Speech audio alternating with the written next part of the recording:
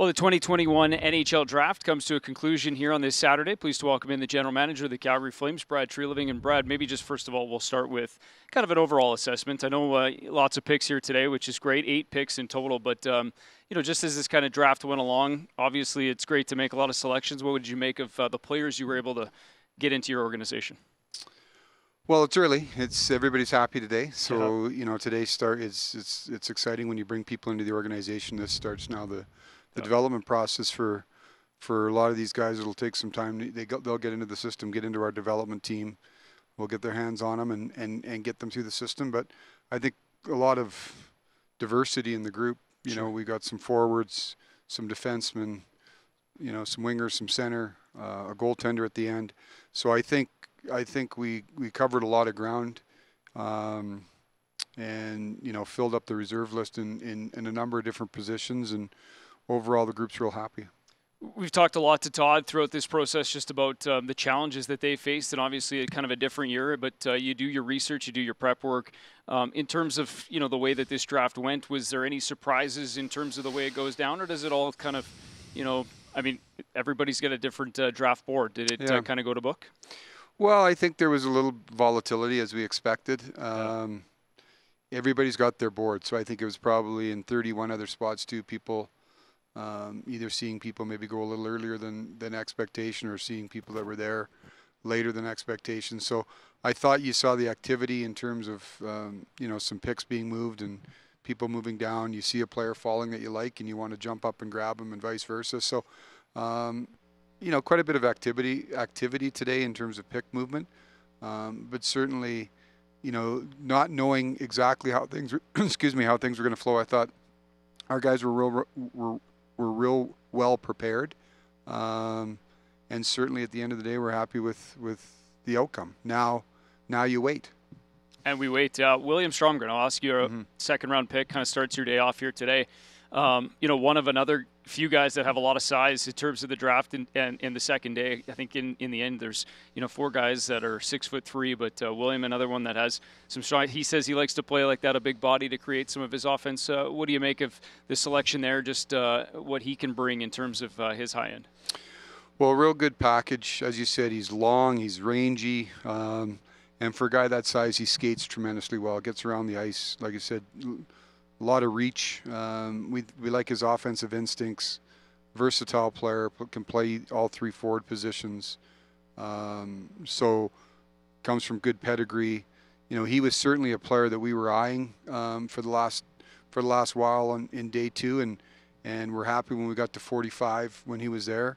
Um, looked at opportunities maybe if we had to move up to to secure the spot, but um, it it fell our way, and and like I said, time's going to tell, but we think we think it's a pretty attractive spa- uh, pretty, pretty attractive package of size and skill and speed.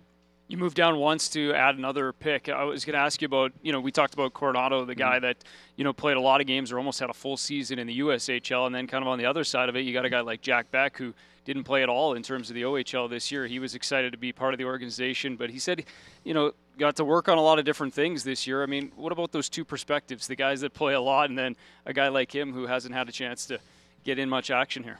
Well, I think that's a great example of the 21 draft, right? Yeah. You've got you got guys that have played full seasons. You've got you know a guy in, in Beck who's played no games. Yeah. Um, he was a guy that certainly organizationally we were very high on. We thought if there was a season, and who knows how things flow, but we thought this guy was going to be a real, you know, high second round pick. Um, spent has been real active in, during the pause, really working on his body. Has put on a lot of mass, put on some weight, put on some strength. Um, so a lot of those listed sizes for guys, he's grown a little bit uh, over the course of the season. So, you know, he was a guy that we had highly ranked, did a lot of homework on uh, in his underage year, and certainly somebody we targeted today, and we're, we're excited to have him as part of the Flames organization. I got a chance to talk to uh, Lucas Ciona just not too long ago. Edmonton guy, uh, obviously uh, proud to be a Calgary Flame now, turning the whole whole, community, the family over into the uh, Flame side, which is great. But um, you know, Lucas, another one, he said that uh, ended up putting on a ton of muscle. When you look at those sizes, though, throughout this draft board, was that, you know, something you guys had high on the priority list? Did it just kind of fall that way? But just to see, you know, I think six of the eight guys are, you know, above six feet. Well, I mean, you always want that combination. You got to get the hockey player first, right? Mm-hmm. You, you got to. It's it's got to be very careful on focusing on one attribute. What you're trying to find is the best player in that in, in, in the area that you're picking, and and focus on sort of the traits that we really value. Um, you know, the fact that those guys have those traits and also have size, we think uh, uh, certainly helps. But um, you know, we have we've got a scout right in Seattle. Not that he would see him any less, but Rob had his had his eye on this guy, and we think there's a lot more potential there. Physically, maybe not a lot of growth as he's a big man now, but we still think lots of growth in his game. So, um, glad to have him aboard. One last one for me, and that's just as we get through this draft. Obviously, we saw lots of activity across the NHL uh, in trades, both moving picks and some players leading up to it. But uh, now the attention turns to the free agency uh, side of things. What about for you now, as you kind of look at expectation-wise uh, over the next few days here leading up? Yeah, we're going to try to see if there's ways to help our teams, whether it be over the course of the next couple days, weeks, months. Um, you know, we're we're going to try to be active.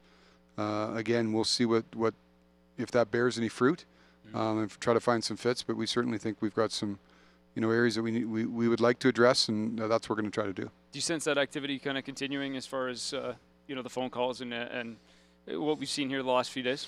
Oh, yeah, I think it'll be active. Obviously, you, you've got there's sort of you know a wave of activity leading up to last night because you've got picks in play for Sure. the last two days.